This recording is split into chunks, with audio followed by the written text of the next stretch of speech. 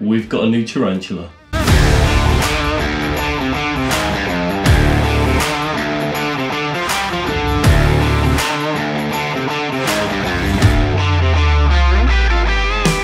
Hello and welcome to Elliott's Exotics. My name's Jack and if you like videos on tarantulas, snakes and more, please consider subscribing to the channel and liking the video. Also, check out my Instagram page at Elliott's underscore exotics. Let's get into the video. For those of you who do have a good eye, yes I have had a haircut. I think it looks a lot better than the top knot that I had. I think it looks a lot better, especially coming into the summer. Trim my beard as well. But we do have a new tarantula, and that is the Caribena versicolor, or the Antilles pink toe. I'm really excited that we've got another one of these. So I had one before, and if you didn't see me getting that and rehousing it, I had a bit of a hard time trying to play around with that one. So check up there, I'll put a card up to you so you can see me dealing with the first one. Unfortunately, it did pass away not too long ago, and I don't know if that's just because it was such a small sling. Sometimes these things happen, um, you know, but I've got another one hopefully we can give it a much better setup because it's not a sling, it's more of a juvenile stage. So I'm, I'm really excited to get this. This They look so cool. These tarantulas start off blue and then they will turn when they're older into like a purple, greeny, pink. It just look, they look so cool. These are not a new world tarantula, these are an old world arboreal tarantulas. So if you are thinking about getting a old world tarantula, I highly recommend these guys. These guys are so cool. If it was to bite you, they do have moderate venom, so it would be a little painful, but it wouldn't do too much damage at all. I'm gonna get him out in a second, but first of all, we've got to sort out his enclosure. So the enclosure I'm gonna be sticking it into is this little Exo Terra. This is a 20 by 20 by 30 Exo Terra. I've got this from Facebook Marketplace. So let's get the enclosure ready and stick him in there. So the first thing we're gonna do is we're gonna stick in the cork tile. This is the background for it. You've seen me put some of these into somewhat other enclosures, such as Miss Bronson um, and a few others. Uh, I prefer using these. These are so much better cork. These are from Zoo Med. So the next thing we're gonna stick in is the soil. This soil is not like the last stuff I was using in Miss Bronson's enclosure. This soil is Cresty Life. Don't need too much in here. As long as the back's stable, I'm happy. This species of tarantula does not need too much soil as it is an arboreal, so that means it's a, it's a climber, so it lives up in the trees, and that's where they make their web. Next thing we do is we're going to put some logs in, and I'd like to pack this out so it looks as naturalistic as possible full of like trees, branches, things like that. First thing I'm going to do is stick a little cork tube in there so it can hide if it wants to. Pack that out the back. What I do have as well is I've got some tweaks. so it has some anchor points to web up to. So what I'm going to do is I'm going to try and just put this in so it looks like they're holding up so the tarantula will just web off these. So what I'm trying to create here is like mini trees. Hopefully it looks like that. Maybe go for something like this. And then this funky little piece here. What I'm going to do is just here, is I'm in this little hole, I'm going to stick this small little plant. So let's get that out, tease the roots. I'm hoping that this does grow in here.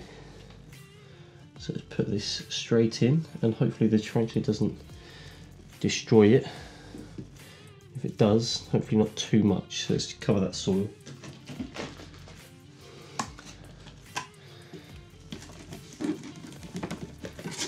Put some more soil at the back. Oh, I'll just chuck low soil down the back of my desk. Let's give this plant some water. Just so it kickstart it in the right direction. Hopefully the tarantula doesn't destroy it too much. And then a little water dish.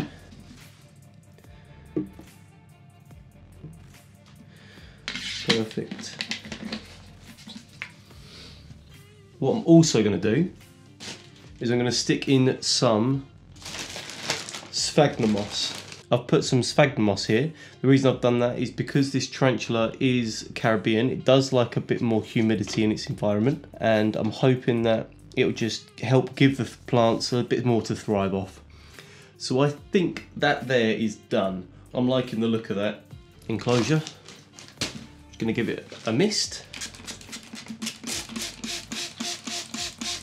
I'm really looking forward to seeing how this how this species just webs up the top because what I'm hoping for is it will make like a hammock around here and it will use this tube that we put up here as like a nice little home. So let's, without further ado, let's let's get it in there. Right, we have the tarantula. I've learnt my lesson now. Catch cup. And I've got my spider stick, my trusty spider stick. This here is just so I don't get bit and the tarantula doesn't hurt its fangs. You can probably see some of the fang marks it's got onto here.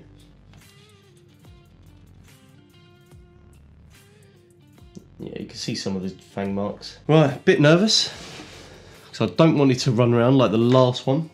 These are very, very fast. So let's, let's, let's get this in. Let's hopefully this goes well. And I've also got my grass as well. Right, let's get it in there. I'm hoping it doesn't sprint away straight away.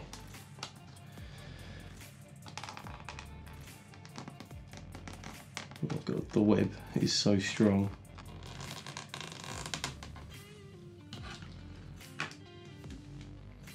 Before I get it in, look at that. Now that's a beautiful tarantula. Let me know in the comments guys what you think of that and what we should name it as well. Let's get it in there. Please don't sprint off.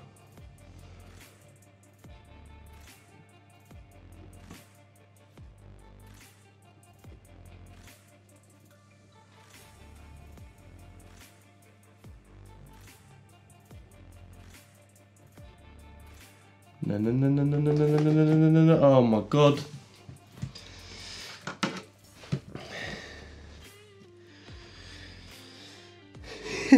this is why we have a catch cup.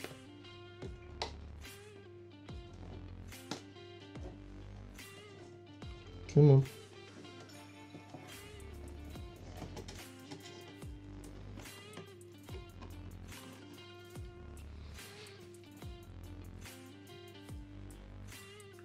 Look at the colours on that.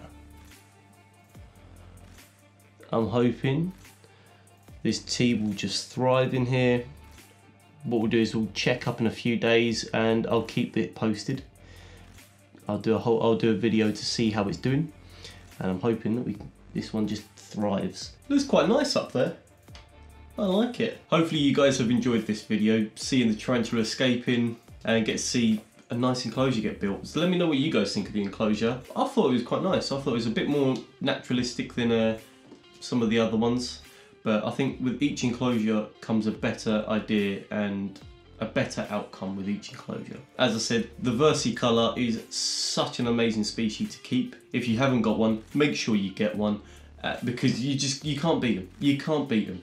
They're incredible. And it's amazing to see them go from a little blue tarantula to green, red, purple and blue. It is, they're just so good. And if you are thinking of keeping an old world species, Versicolor is definitely the one to go for first. I highly recommend it. They're so easy to keep. So thank you again for watching the video. I hope you've enjoyed it. Please subscribe to the channel and like the video, and I'll see you in the next one.